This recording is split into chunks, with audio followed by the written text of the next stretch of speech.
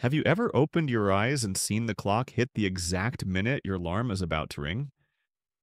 It feels like your brain predicted it. But this is not coincidence.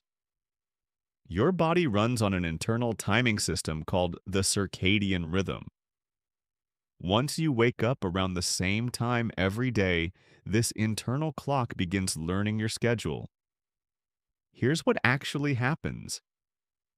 About an hour before your usual wake up time, your brain activates something called the cortisol awakening response. Cortisol slowly raises your alertness, increases your heart rate, and pulls you into lighter sleep. By the time your alarm is close to ringing, you're almost awake already. This is your brain trying to protect you. A loud alarm is a shock to the nervous system. It spikes adrenaline and triggers your fight or flight response.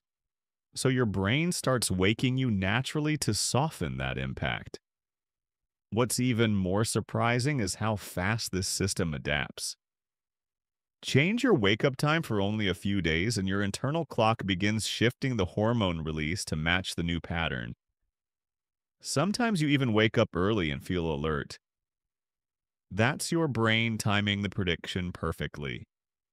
So, the reason you wake up seconds before your alarm isn't magic, instinct, or coincidence. It's your internal clock preparing you in advance to make your morning less stressful. Subscribe for more psychology that explains the things you never notice.